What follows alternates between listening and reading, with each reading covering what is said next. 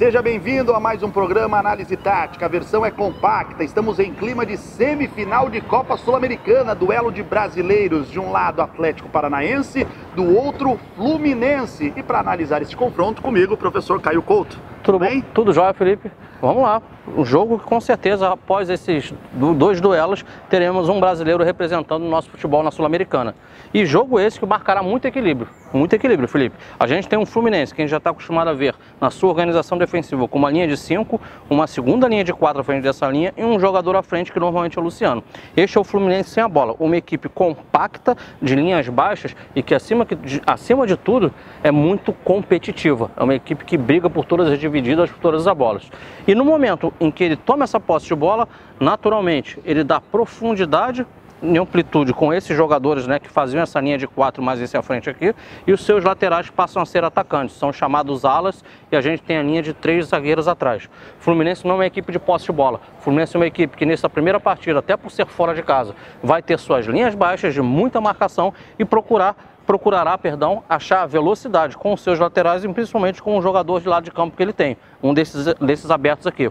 E vale lembrar para o torcedor que esse jogador aqui muitas vezes é o Sornosa, que também cai muito por dentro, fazendo um 3-5-2, a gente poderia dizer dessa forma.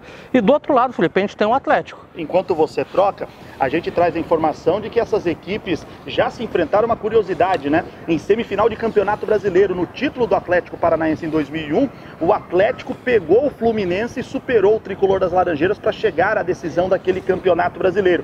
Ambas as equipes já têm história também na Copa Sul-Americana. As duas chegam pela sétima vez para disputar essa competição organizada pela Comebol. O Atlético Paranaense tenta alcançar aí, ultrapassar a sua melhor marca, que foi uma semifinal em 2006, quando perdeu para o Pachuca do México, e o Fluminense já foi finalista em 2009, mas foi eliminado, perdeu a decisão para a LDU.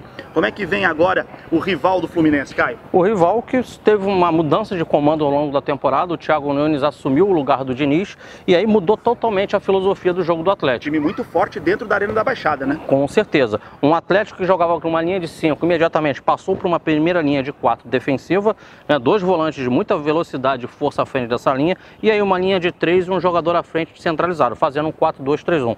Jogador esse que ele não abre mão do seu esquema, normalmente o Pablo, né? com muita presença de área, marcador de gols. Importante também, esses jogadores circulando por trás dele e esse jogador em especial, o Nicão. Um jogador que sempre joga com o pé invertido né, pelo lado direito do campo para trazer essa bola em diagonal e fazer a finalização. Que Atlético é esse? É um Atlético que além de jogar na sua casa principalmente, mas de uma maneira geral, né, como em casa ou como visitante, como eu disse, mudou esse seu perfil. É uma equipe também, assim como o Fluminense, sem a bola muito competitiva, que briga muito e se utiliza de velocidade. É uma equipe mais vertical. Também não é uma equipe, Felipe, de posse de bola. Então daí creio que são estilos semelhantes, né, da forma de encarar a partida, da metodologia de jogo, a, mudando apenas a questão de uma linha de 5 para a linha de 4.